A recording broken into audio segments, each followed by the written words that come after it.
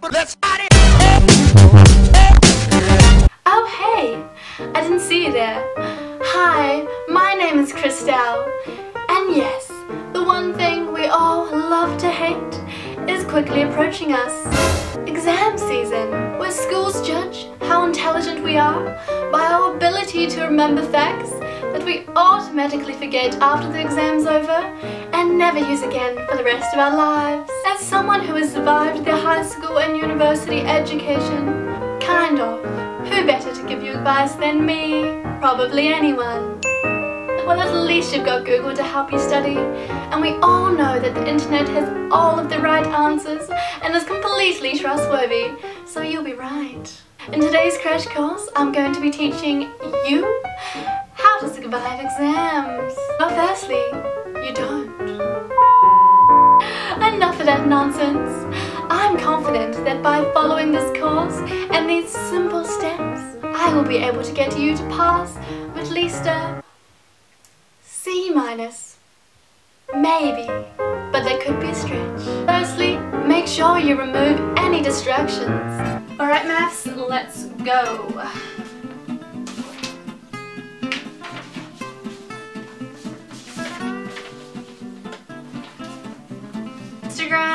Twitter, Facebook, Snapchat, Bebo. Tiffany added you as one of her 16 best friends? Ah, forget this! I don't need facts! Wait, I need maths to pass.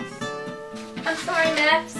I didn't mean to throw you like that. Let's do some science. Like bio? I have a body. I can definitely do this. A psychological neuroplasticity psychological neuroplasticity neuroplasticity neuroplasticity neuroplasticity Okay, like, they're not, they're not gonna ask that.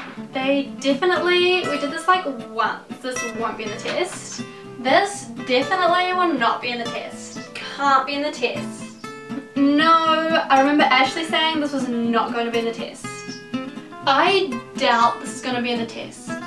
Start studying weeks before your exams actually start. oh, that's a good one. But really, that is a very good idea. No, I've literally done nothing. What are you up to? Yeah, I'm on about page two. Ugh, I've just highlighted the entire textbook.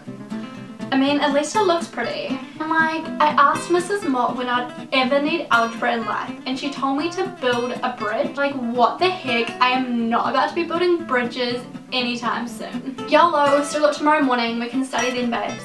Okay, bye. Mm, why hasn't he texted me back? I bet he's fucking Sarah. She's such a slut. Oh, she's so hot though. Am I fat? Another one of Christelle's top tips is to stay active by exercising daily and eating healthy. Alright, here we go. Fuck, I forgot my pen. I made such a sexy teacher.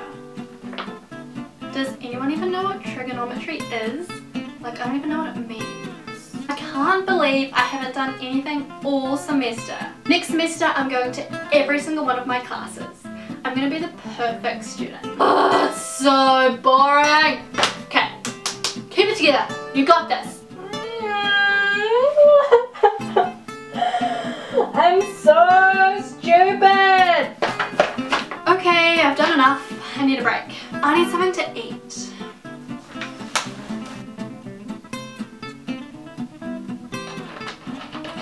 I feel like I'm doing a commercial. Maybe I should just become a model.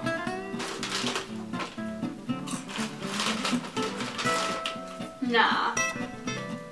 Just remember, education is important.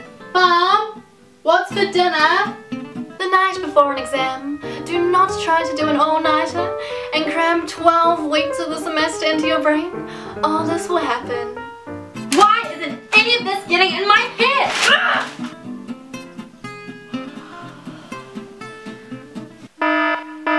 The square root of carrot photosynthesis.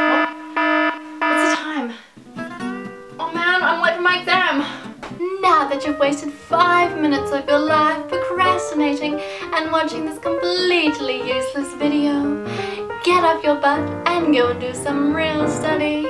Read a book or something. Just do it. Now that we're finishing up, just remember that the grades you're going to get in this exam are going to affect you for the rest of your life. Oh no, that can't be it. Um, no, I mean, uh, as long as you try your hardest, it doesn't matter. How bad can it be working McDonald's for the rest of your life?